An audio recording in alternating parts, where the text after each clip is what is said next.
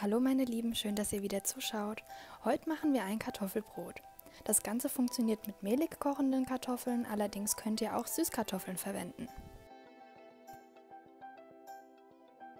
An Zutaten benötigen wir 500 Gramm mehlig kochende Kartoffeln, die natürlich geschält, 500 Gramm Mehl Typ 550, 10 Gramm Salz, 1 Teelöffel Kräuter der Provence, ein Päckchen Trockenhefe, einen halben Teelöffel Zucker, 2 Esslöffel Olivenöl und 300 Milliliter Kartoffelwasser.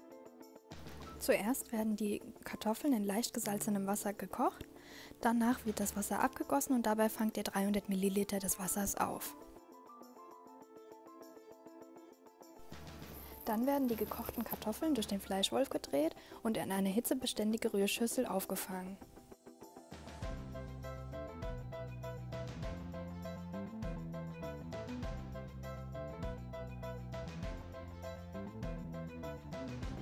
Bei den Kartoffeln und dem Kartoffelwasser darauf achten, dass es noch warm ist, da wir die Hitze noch für die Hefe brauchen.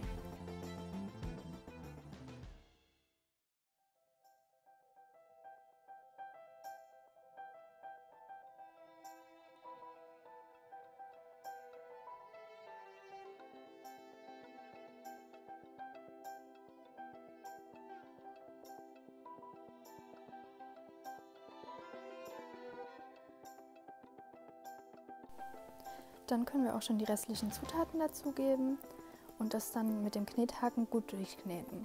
Bei mir ist das Ganze in der KitchenAid. Ich mache das auf Stufe 2 bis 4 und ganz wichtig ist, dass ihr es lang genug knetet, etwa 7 bis 8 Minuten richtig, richtig gut durchkneten.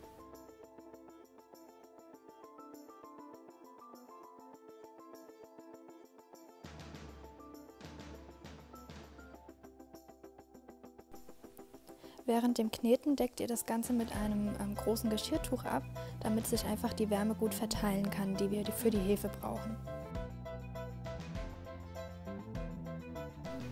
Und nach dem Kneten wieder abdecken und 25 Minuten ruhen lassen, am besten an einem warmen Ort. Dann lasse ich es nochmal 5 Minuten bei Stufe 2 gut durchkneten.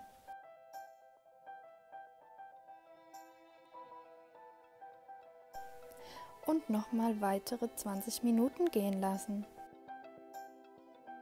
Dann könnt ihr den Teig in eure vorbereitete, also eingefettete Kastenform geben und sie dann nochmal für 30 Minuten ruhen lassen. Also plant euch wirklich genug Zeit ein, wenn ihr dieses Kartoffelbrot macht, wenn ihr sowieso den ganzen Tag zu Hause seid am besten.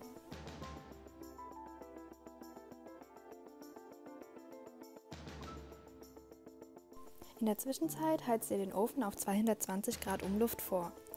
Dann könnt ihr die Backform in den Ofen geben, den Ofen mit Wasser besprühen, die Tür sofort schließen und auf 190 Grad runterdrehen. Dann das Brot etwa 50 bis 60 Minuten backen. Auch hier könnt ihr wie bei einem Kuchen wieder die Stäbchenprobe anwenden. Zwischendurch immer mal wieder Wasser in den Ofen sprühen, aber die Ofentür direkt schließen. Ja, das war's dann auch schon wieder und vielen Dank fürs Zusehen. Ich hoffe, es hat euch gefallen.